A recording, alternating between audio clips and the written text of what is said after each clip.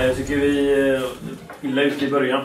Första 20-30 minuterna har vi problem. Men sen så eh, växer vi in i matchen mer och mer. Eh, och har den i ribban som sagt där innan. Vi går till halvtidsvila och tycker andra halvlek är relativt bra. Från vår sida har vi till i underkanten. Så att närmare än så tror jag inte vi kommer att göra mål. Jag kanske vaknade lite för sent idag.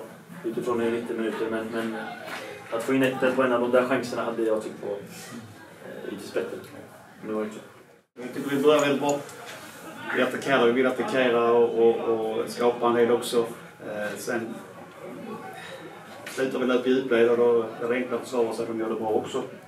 Eh, vilket gör att matchen blir mer att vi ska rulla runt och, och, och Trollhättan ställer om. Och, och det blir lite mer eh, inkast och, och fast stationer. De är duktiga, eh, vilket vi visste om. Så, så att, eh, nöjd med hur vi startar. Eh, nöjd att vi krigar oss till tre poäng. Men eh, det var väl en premiär och då får man kanske acceptera att det inte alltid sitter klockrent. Så, så att, eh, en skön start för oss och ännu en nolla.